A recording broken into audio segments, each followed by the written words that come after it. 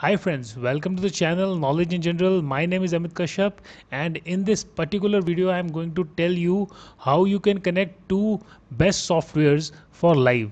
These two best softwares are OBS and StreamYard. If you have done live on YouTube, I am very sure you must be aware of these two specific tools these both the tools are absolutely different at their own stages but both the softwares can be easily connected. And specifically if we talk about StreamYard StreamYard is an application where we can invite people onto our live which actually is an amazing feature whereas OBS lacks in this feature. And if we combine both of them I think your live on a YouTube can make very big difference. Before we go ahead i request you to subscribe the channel. However i make uh, videos in hindi but technology has no barrier. You can learn from my videos and even i can learn from your videos also. So without wasting further time let us open the obs here as you can see i have already opened the obs here and you can see i have created few scenes let me change the scenes for you so that things can be better for you see see this is background i can easily change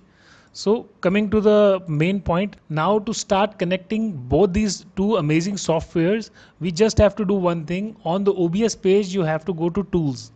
Click on tools and you click on virtual camera. After opening this virtual camera, this kind of window will pop up and you'll have to click on this target camera. You just have to select one camera. So I'm selecting OBS camera here and I'll click on start. And I'll cancel it not stop it. I'm going to close it from here because now this particular window you're seeing here is getting captured as a camera image. So if you go to tools again and if I click on camera you see it is already there. It is already started. Now the second thing what we'll do is we'll go to uh, this Chrome tab and uh, we'll open StreamYard. This must be a familiar page for you if you are doing live through StreamYard. So we'll create a broadcast here.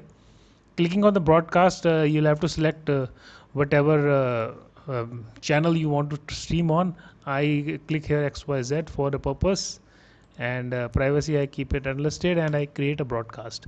The moment I create broadcast the things will easily be solved. If you see here it is getting connected. Just a second so here it is. If you see StreamYard is capturing my USB camera the web camera uh, inbuilt in my laptop whereas the picture and pixels are not very good. Now what I'll do is I'll click on this cam oblique mic and I'll select here OBS camera.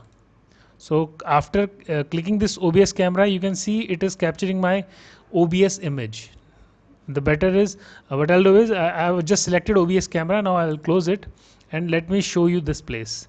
Now if I uh, see if I click on break or if I see uh, I change the scenes here and I go to this StreamYard you see right there it is capturing it. So we'll go to once again and high definition 370 and it is capturing my OBS window. Now we enter the broadcast and I think a picture will get much more clear in this particular thing.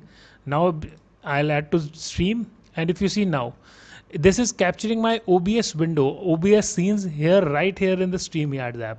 So I can start my live here if I click here to go live with uh, StreamYards. And I will be live with my pictures or with my scenes present here. If, if I see click here or any other see like this, if you see, if you go to Chrome, uh, the StreamYard will give us that very particular picture which is actually showing on OBS. So this is all for this video friends. In case you find this video important and useful, I hereby request you to like the video and share it with your friends. This is all for this video then. Thank you very much. This is Amit Kashyap signing off and thanks for watching this video friends.